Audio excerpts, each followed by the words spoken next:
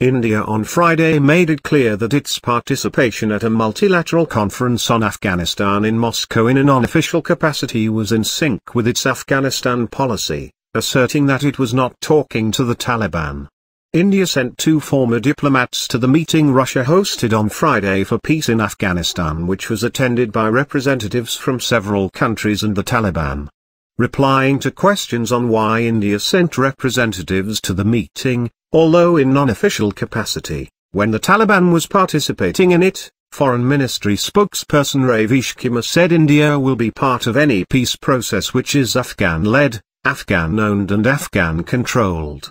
We will participate in any process which is consistent with the policy we have for Afghanistan.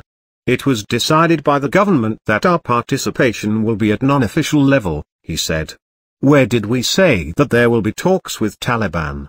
We did not say that, he said, to a question on participation of Taliban in the meeting.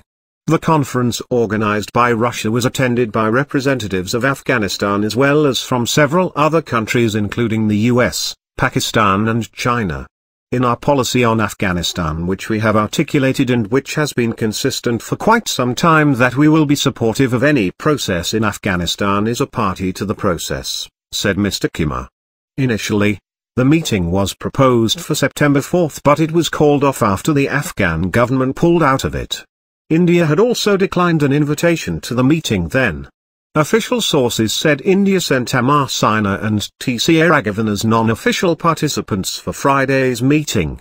While Mr. Sinha served as India's ambassador to Afghanistan, Mr. Raghavan was a former Indian High Commissioner to Pakistan. According to the Russian Foreign Ministry, invitations to take part in the event had been sent to Afghanistan, India, Iran, China, Pakistan, the US and some other countries.